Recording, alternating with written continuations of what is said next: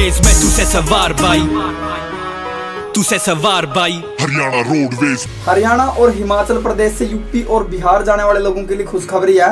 बद्दी से चलकर पिंजौर पंचकुला अम्बाड़ा पिपली करनाल पानीपत केएमपी आनंद विहार मुरादाबाद रामपुर बरेली शाहजहांपुर सीतापुर के रास्ते लखनऊ को जाने के लिए हरियाणा रोडवेज़ अम्बाड़ा डिपो ने सीधी बस सर्विस शुरू कर दी है। हरियाणा रोडवेज़ अम्बाड़ा डिपो ने हिमाचल प्रदेश के बद्दी से लखनऊ के लिए सीधी बस सर्विस शुरू कर दिया जिसकी टाइमिंग मैं आपको बता दूँ। बद्दी से इस बस का टाइम है दोपहर एक बजे।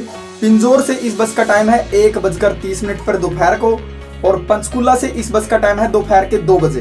अम्बाड़ा से इस बस का टाइम है तीन बज के तीस मिनट पे शाम को।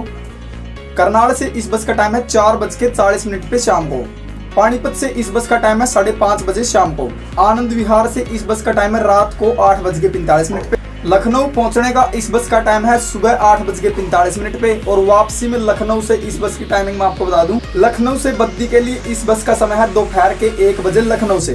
तो अगर आप हरियाणा रोडवेज़ की इस बस सर्विस का आनंद उठाना चाहते हैं और सफ़र करना चाहते हैं तो बिल्कुल आप सफ़र कर सकते हो। टाइमिंग मैंने आपको बता दी।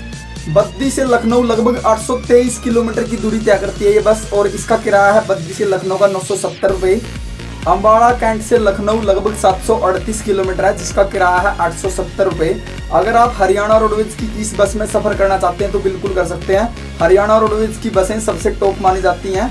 हरियाणा रोडवेज़ की सवारी सबसे सेफ़, सबसे सुरक्षित मानी जाती है। मैं आपको बता दूँ, अगर आप हरियाणा रोडवेज़ की इस बस में ट्रैवल करते हैं तो आपका समय बचेगा।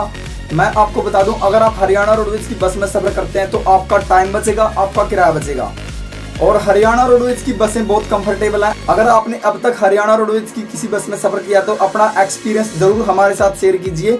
और अगर आपने नहीं किया तो ज़रूर आप हरियाणा रोडवेज़ की बस में सफ़र करके देखिए। आपको बिल्कुल अच्छा लगेगा।